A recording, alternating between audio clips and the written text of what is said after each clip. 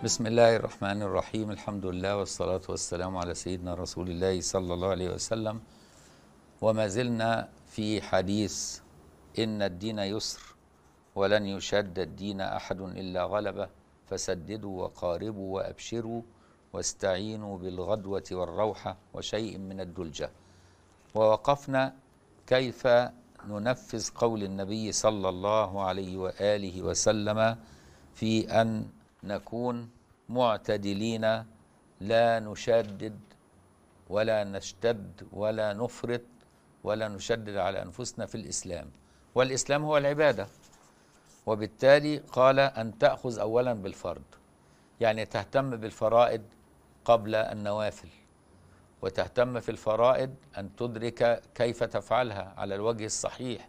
فتعرف الفرد مكون من أركان وواجبات وآداب وشروط وشروط صحة وتعرف مفسدات الفرد وكيف تجبره ومتى تقضيه ولماذا تقضيه وكيف تقضيه وما وغير ذلك من الفرائض. يعني تستوفي الفرائض علما وعملا بالتفاصيل قبل أن تشغل نفسك بالنوافل. هذا البداية. فإذا أحسنت الفرد تنتقل إلى السنة وتشوف إن كل فرد له سنة من جنسه. فإن كان صلاة فكل صلاة لها سنة من جنسها. وإذا كان صيام فله سنة من جنسه. فعندنا صيام رمضان ده فرض السنة اللي من جنسه صيام الاثنين والخميس ثلاث أيام من كل شهر. يوم صيام يوم وإفطار يوم صيام يوم عاشوراء. التسع الأيام الأول من ذي الحجة. آه وغير ذلك من صيام ال ال النوافل. وبالتالي الزكاة عليك أن تدرك متى تفرض عليك الزكاة وكيف تكون نفقتها وما هو النصاب الذي لابد أن يتوفر عندك وما هي المصارف التي تخرجها وكيف تحسب زكاتك. كل ذلك عليك أن تدركه أولا. فإذا أدركته وأعطيته حقه تسأل بعد ذلك عن صدقة التطوع وعن الصدقة الجارية وعن كفالة اليتيم وغير ذلك من كل إيه هذه الأمور. وبالتالي قال كيفية أنك أنت لا تشاد في الدين بمعنى الإسلام أن تأخذ أولا بالفرض من كل الجهات حتى يوفيه. فإذا وفى حينئذ يأخذ من المندوب بقدر استطاعته ولا يتغالى. في طرف من الواجب أو طرف من المندوب حتى يخل بالآخر لأن هذه هي المغالبة في الأعمال وهي تؤول إلى الخسارة إلا أن يتداركه الله باللطف والتوبة. ويشهد لهذا ما روي أن أبا بكر الصديق رضي الله عنه لقي النبي صلى الله عليه وسلم يوما فقال يا رسول الله بماذا بعثت؟ فقال رسول الله صلى الله عليه وسلم بعثت بالعقل. قال وما لنا بالعقل يا رسول الله؟ قال إن العقل لا حد له ولكن من حرم حرام الله وحلل حلاله سمي عاقلا لأن العقل مناط التكليف. فالعقل إنك أنت تدرك إيه هو الحلال وإيه هو الحرام إيه هو الحلال عشان تتناوله إيه هو الحرام عشان تتجنبه وإيه هو المطلوب عشان تفعله وإيه هو المنهي عنه حتى تتجنبه. فإن اجتهد بعد ما أدرك هذا لو اجتهد بقى نسميه عابد. فإن اجتهد في العبادة سمي جوادا فإن اجتهد في العبادة وسمح في نوائب المعروف بغير حظ من عقل يدل على اتباع ما أمر الله واجتناب ما نهى الله فأولئك الذين ضل سعيهم في الحياة الدنيا وهم يحسبون أنهم يحسنون صنعا. يعني إيه؟ يعني ابتدى بقى إيه؟ يأخذ من الإسلام الأعمال اللي توافق هواه. ويظن أن طاعة الله تكون على هواه. آه يبقى ده ضل سعيه في الحياة الدنيا إيه؟ وهو يظن انه يحسن صنعا. فاختار العبادة التي بينها الشارع وقدم الفرد على المندوب وقدم في الفرد فرائده أيضا لأن الفرد نفسه فيه فرائد وكذلك أيضا إن طلب نفسه بتوفيه العبادات من كل الجهات إلى حد الكمال فايضا فهذا أيضا يقع في المغالبة العجز لأن الرسول صلى الله عليه وسلم بيقول إيه فإن المنبت لا أرضا إيه قطع ولا ظهرا أبقى. إن هذا الدين متين فأوغل فيه برفق فإن المنبت لا أرضا قطع ولا ظهرا أبقى. فما تغالبش حتى في الفرد بحيث إنك أنت عايز تعمل الفرد كما يجب من جميع الوجوه. فيصعب على الإنسان. تقول أنا عايز أصلي الفرد ده لا تحدثني شيء غير إن أنا يبقى مخي كله في الصلاة. يستحيل أنت مش هتبقى ملك. أنت إنسان لابد هيجي لك حديث نفس. تقاومه. ولا تبطل عملك. وكل ما تيجي حديث نفس تروح خارج من الصلاة وتعيد الصلاة تاني. مفيش داعي لهذا وإلا هتلاقي نفسك بعد كده تترك الصلاة لأنك مش عارف تصلي كويس في حين إن الصلاة أيسر مما تظن. وكذلك في الطهارة وكذلك في سائر العبادات. لأن البشرية لا تحمل ذلك يعني البشرية طبيعتها الضعف فلا تستطيع أن تأخذ نفسها بالشدة في كل الأحوال. لابد إن هو إيه؟ يكون يعني يعني يعني بين هذا وذاك حتى يستطيع ان هو يستمر. كذلك إذا اجتمع عليك في في لحظة واحدة فرد ومندوب قدم الفرد. تقدم الفرد. يعني المندوب إن أنا أقعد أذكر ربنا. وبعدين سمعت أذان الظهر. أو لما اخلص الذكر أضيع صلاة الجماعة. ده اسمه كلام. وتقول اصل أنا كنت مشغول في عبادة. طب ما مطلق ذكر الله ملوش وقت في أي وقت تعمله لكن الظهر الوقت دخل أو العصر دخل. تيجي في شهر رمضان دخل شهر رمضان تقول أصل أنا مشغول في قراءة القرآن والصلاة على النبي صلى الله عليه وسلم فأبقى أجل الصيام شو؟ ما ينفعش. لما يجي الوقت وعندك أنت عملين عمل أنت بتعمله تطوعي وجاء وقت الفرد عليك أن تترك التطوع وتهتم بالفرد ولقائل بيفترض سؤال هنا الشيخ بيقول ولقائل أن يقول لما لم يقل عليه السلام لن يشد رجل أو امرأة؟ وقال بدله لن يشد الدين أحد. ما قالش لا رجل ولا امرأة. قيل له ذلك يدل على فصاحته صلى الله عليه وسلم وبلاغته. لأن أحد في اللفظ أقل كلاما وأكثر فائدة. لأنه يطلق كلمة أحد يطلق على الذكر والأنثى والقوي والضعيف. والحر والعبد والعالم والجاهل والعلي والدني على اختلاف أحوال العالم. وبالتالي في كلمة واحدة إيه؟ صلحت أن تكون للإنسان مطلقا في كل أحواله وفي كل أعماره وباختلاف انواعه كمان من ذكر وأنثى أو صبي وشيخ و وشاب. وهذا يدلك على حسن ألفاظ النبي صلى الله عليه وسلم في البيان ودقتها والبعد عن الكلام الذي يكون بلا ضرورة. ثم جاء بعد ذلك في الوجه الثالث فسددوا وقاربوا. مش بيقول إن الدين يسر ولن يشد الدين أحد إلا غلبه. فسددوا وقاربوا. دي ثالث حاجة ثالث فقرة في الحديث. فسددوا وقاربوا احتمل أن يكون هذان اللفظان لمعنى واحد. يعني التسديد والمقاربة بمعنى واحد ويبقى العطف هنا عطف تفسير. واحتمل أن يكون لمعنيين لمعنيين يبقى يسموه عطف تأسيس. لو اختلف الكلمتين يسموه عطف تأسيس. لو المعنى واحد يسموه عطف تفسير.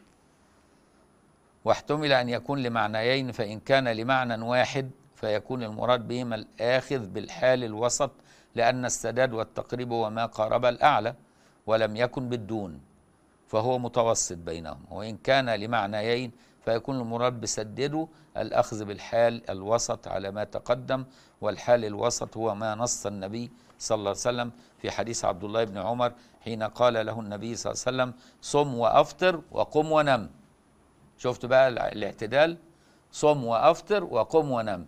زي باستمرار أنا بقول للناس إيه؟ إن الإنسان التعبان عبادته إيه؟ يستريح والجعان عبادته ياكل والعطشان عبادته يشرب. واللي مشتاق للزواج عبادته يتجوز. كويس.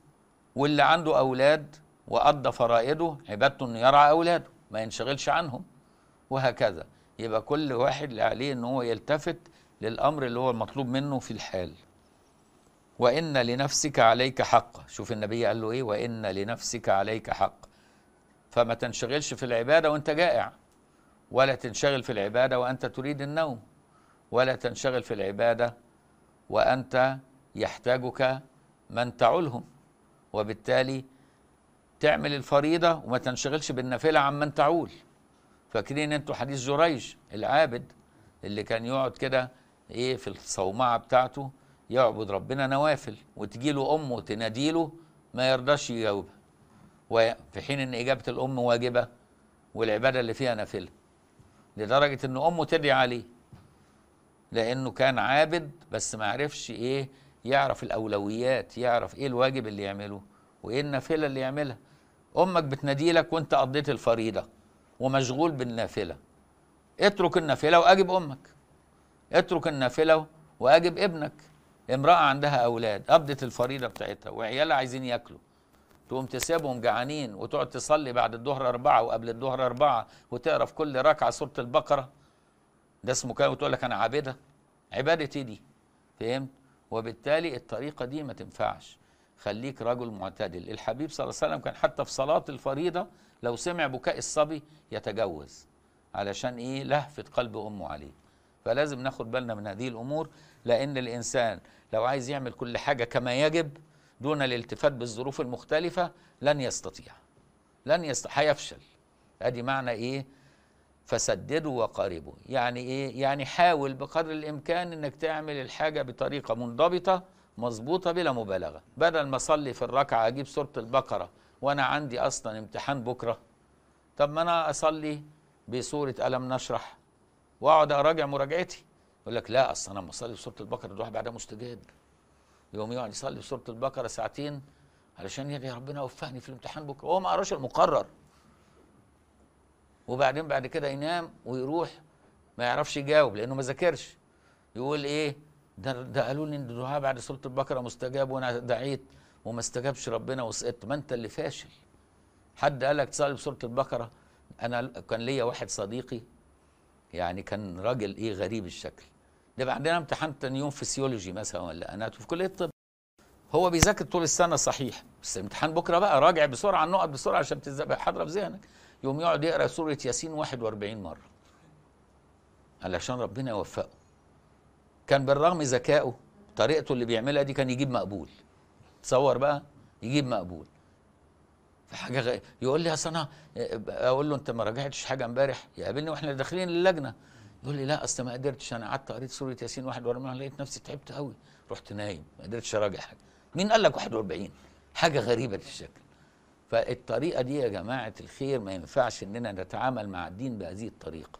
لكن الاعتدال كويس. صلي صلاة خفيفة كاملة الأركان.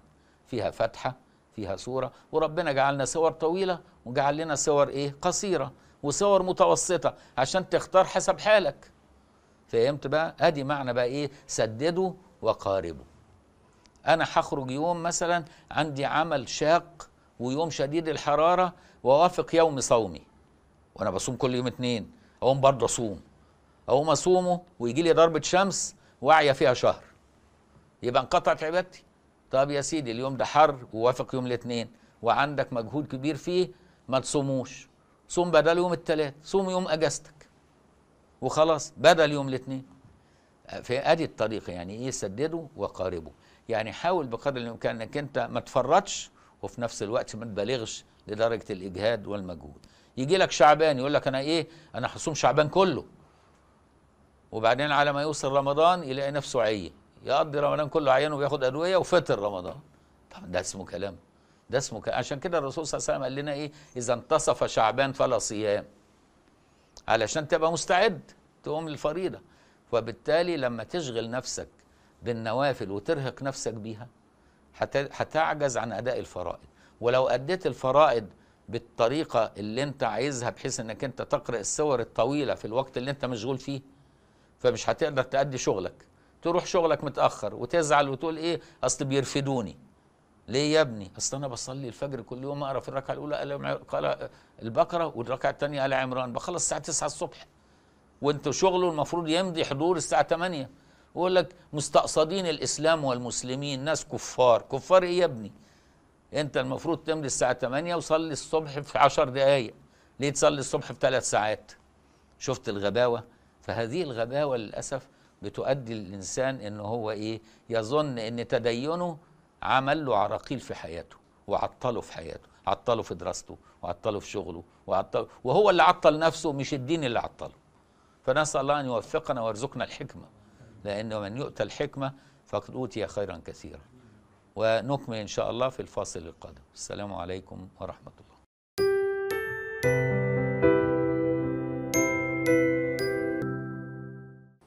عدنا مرة أخرى نكمل قضية وسددوا وقاربوا ولن يشيد يشد الدين أحد إلا غلبه.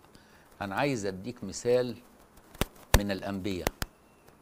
إنه في نبي من الأنبياء عليهم السلام أراد إن هو يختار لنفسه العبادة اللي ربنا لم يقمه فيها فيها لأنه بيحبها.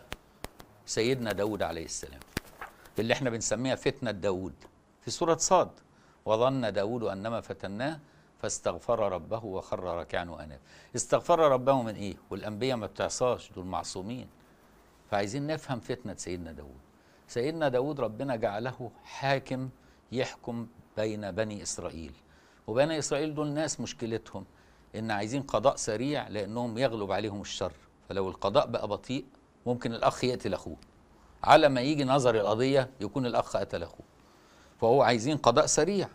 وربنا جعله إيه؟ حاكم في الأرض. يحكم بين الناس. وفي نفس الوقت كان ربنا ألان له الحديد فكان يعمل الدروع. يمسك الحديد كده يقعد يتنيه زي أنت ما بتمسك العجينة كده تعملها مثلا كحكة. فكان ال- الحديد لأن له. والقطر اللي هو النحاس أسأله لسيدنا سليمان إيه؟ اللي هو ابنه وأسلنا له عين القطر. فكان النحاس سيدنا سليمان يمسك النحاس كده يبقى في إيده سائل يقوم يعمل منه قوالب ويعمل منه حلة ويعمل منه ويحط عليه المية يروح بارد يرجع إيه؟ يبقى إناء.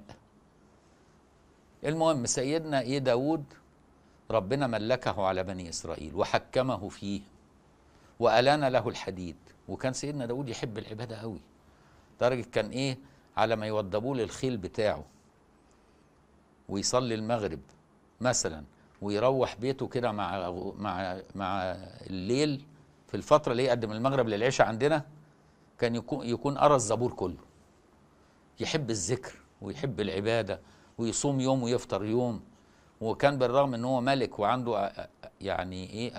أملاك كثيرة إلا إنه ما كانش يأكل من ملكه. كان ياكل من صنع يده فيعمل الدروع ويبيعها ويتكسب وياكل من صنع يده لا مما ملكه الله. شفت قد إيه التحري. فسيدنا داود عمل إيه؟ قال أنا هقسم الأيام بتاعتي على ثلاث أيام يوم أقضي بين الناس ويوم أصنع الدروع وأبيعها ويوم أعبد ربنا وأخلع بنفسي. محدش يقرب لي. سيبوني أعبد ربنا يوم وسيبوني أحكم بينكم يوم وسيبوني أتكسب يوم. كويس؟ فقسم الايه التقسيمة دي. في اليوم اللي هو في خلوته في العبادة يحصل شقاق بين أخين. أخ عنده 99 نعجة وأخ التاني عنده نعجة واحدة. أبو 99 عايز يكملهم 100 يقوم يقول لأخوه اديني الايه النعجة التسعة المية الواحدة اللي عندك عشان يبقى عندي 100 وأنت لو احتجت لبن ولا حاجة ابقى أحلب لك شاي. ولو احتجت تاكل يبقى تعالى اتغدى معايا. بس اديني عشان اكمل المية. الجدع التاني زعل من طمع أخوه. فراحوا الاثنين اتخانقوا مع بعض. راحوا لسيدنا داود عشان يحكم بينهم. لقوه في إيه؟ في الخلوة بتاعته. الحراس قالوا لهم تعالوا بعد بكرة. عشان بكرة صناعة دروع وبعد بكرة. طب ما لو قعدوا اليومين دول وهم متخانقين مع بعض وبني إسرائيل يغلب عليهم الشر هيقتلوا بعض. فقاموا عملوا إيه؟ تصوروا عليه المحراب. استغفلوا الحراس وراحوا إيه؟ تسلقوا المحراب كده ونطوا عليه. سيدنا داود شافهم بينطوا عليه وبني إسرائيل سمعتهم وحشة مع الأنبياء قتلوا أنبياء كتير. فسيدنا داود افتكرهم إيه؟ جايين يقتلوه عشان كده ففزع. قالوا لا تخف خصمان بغى بعضنا على بعض فاحكم بيننا بالحق ولا تشتت واهدنا إلى سواء الصراط. برضو شوف سوء أدب بني إسرائيل مع الأنبياء. يقول له ولا تشتت يعني إيه؟ كمان اوعى تحكم بينا بالعدل وأوعى بقى تخرم وتروح كده. كأنه بيكلم آه، آه، يعني واحد أدنى منه. وده نبي. عدد بني إسرائيل عدم الأدب مع الأنبياء. لكن سيدنا داود صبر وسمع القضية وقال له لا ظلمك بسؤال نعجتك إلى نعاجه وإن كثيرا من الخلطاء لا يبغي بعضهم إلى بعض. وبعدين بعد كده إيه؟ سيدنا داود فهم إن ربنا بيقول له ما تعزلش نفسك عن الناس يا داود لأن عزلك عن الناس وقد أقامك حاكما ده يوافق هواك أنت كده بتعبد ربك على هواك مش كما يريدك ربك فهمت؟ فعرف سيدنا داود فهم فاستغفر ربه وأناب وقال أنا مش هعمل كده تاني ولا أعزل نفسي عن الناس أنا هخلي باب القضاء عندي مفتوح 24 ساعة. كويس؟ وعلشان كده قال له إيه؟ يا داود انا جعلناك خليفة في الأرض فاحكم بين الناس ولا تتبع الهوى. الهوى يعني هو النبي عنده هوى يلهي عن الله. يعني لا تتبع هواك في عبادتي كما تحب ولكن اعبدني كما أريد فأردتك حاكما ولم أردك متفرغا للعبادة. شفت بقى؟ أدي معنى إيه؟ إنك أنت لا تشد الدين هو حاول إن هو يعبد ربه زي ما بيحب. قال أنا هحكم يوم وأتكسب يوم ويوم اقضي بين العباد. طب ما أنت كده هيبقى في قضاء بطيء. القضاء البطيء صورة من الظلم صورة من صور الظلم. فلما ربنا نبهه عرف إن هو لما عمل كده هيظلم الناس.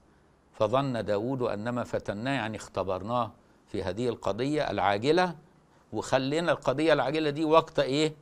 وقت عبادتك عشان تعرف إنك أنت لا تتلهى بالعبادة عن الفصل بين الناس. وعشان كده قال له إيه؟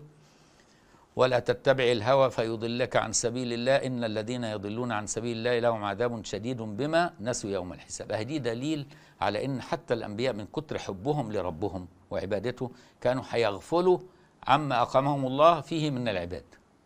وده يبين لك كمال حبيبك المصطفى صلى الله عليه وسلم. إن النبي قرت عينه في الصلاة وكان أحيانا السجدة بتاعته يسجد بالساعة لدرجة ستنا عائشة كانت تظن إن هو فرق الحياة فتلمس رجله يحركها عشان يطمنها ويقول يا عائشة لي ساعة مع, مع الله لا يسعني إلا الله.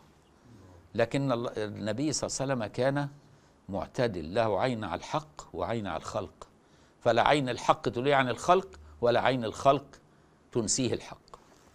فقام بالاثنين عشان كده تعرف إن حبيبك المصطفى من حيث الكمال فهو أكمل الكمل فالانبياء كلهم كمال. وأدي مثال إن إيه واحد من الأنبياء أراد أن إيه يشدد الدين. يشدد الدين يعني إيه يتشدد في الطاعة ويتشدد في العبادة ويتفرغ فيما لم يفرضه الله له أن يتفرغ له. فرض الله عليه أن يتفرغ للقضاء بين الناس فقال أتفرغ لهم يوم من كل ثلاثة أيام. ربنا قال له لا يا داود أنا عايزك تبقى حكم للناس يوميا لأن القضاء البطيء نوع من الظلم. فهمت بقى؟ وعشان كده ربنا أقامك مثلا طبيب. فما فيش داعي بقى العيادة شغالة والمرضى واقفين عايزين يكشفوا عليك عندك. وبعدين تروح إيه بالبلطو الأبيض بتاعك تنزل في مسجد المستشفى تصلي الضحى 8 ركعات. بس السنة الشافعيه قالوا أن الضحى 8 ركعات. وفي القول القديم 12 ركعة. يقوم يقعد يصلي لي 8 ركعات والمرضى مساكين واقفين مش لاقيين كرسي يستريحوا عليه مستنيين الدكتور. فين الدكتور؟ أصله بيصلي الضحى. أهو ده بقى إيه؟ زي سيدنا داود اللي ساب الخصمين وقعد يعبد ربه. فلا تتبع الهوى فيضلك عن سبيل الله. لا صلي الضحى يا سيدي ركعتين خفيفتين وانطلق إيه؟ اكشف في المرضى وكذلك الموظف يطلق مكتبه قبل صلاة الظهر بساعة علشان إيه؟ يروح يتوضى في نص ساعة. وبعدين يصلي سنة الظهر قبل إيه؟ قبل ما يصلي الظهر أربع ركعات وكل ركعة يجيب سورة ياسين والواقعة وتبارك ما شاء الله عبادة. والناس واقفة مستنية الطابور عشان ساعة البيه الموظف يجي يأشر لهم ولا يختم لهم عشان يقضي مصير ويعتبر نفسه إنه مت... يا ما شفنا هذه إيه؟ المظاهر في المصالح الحكومية المختلفة في المستشفيات في المصانع في الورش. كل ده شفناه. أهو دول بقى مش بيسدد ولا بيقارب. وده بيشدد على نفسه في الدين وبيدي صورة وحشة للمتدين وبيعتبر الناس بعد كده إن الدين معوق من معوقات الحياة والتدين من الأسباب التي تعوق الحياة في حين إن الدين جاء لنسعد في حياتنا به فنسأل الله إن هو يأخذ بايدينا إيه ويفقهنا ويفهمنا. والله تعالى أعلى وأعلم. والسلام عليكم ورحمة الله وبركاته.